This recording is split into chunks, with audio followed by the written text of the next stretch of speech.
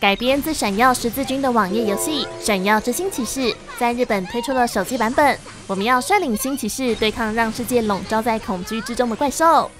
新骑士的身份当然是各式各样的美少女，透过转蛋可以让他们加入队伍。游戏一开始可以反复十连，直到有喜欢的角色再继续游玩，真的是太懂玩家了。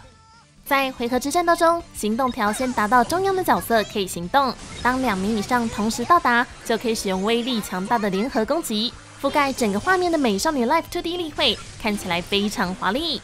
就算只有单一角色先到达中央，也可以策略性的先不发动攻击，等后面角色的行动条跟上后再一起发动联合攻击，让敌人一次受到更大的伤害。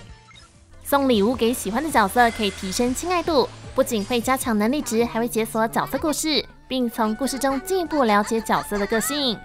闪耀之星骑士毕竟是出在手机上面的，不要想太多，肯定是不行色色的啦。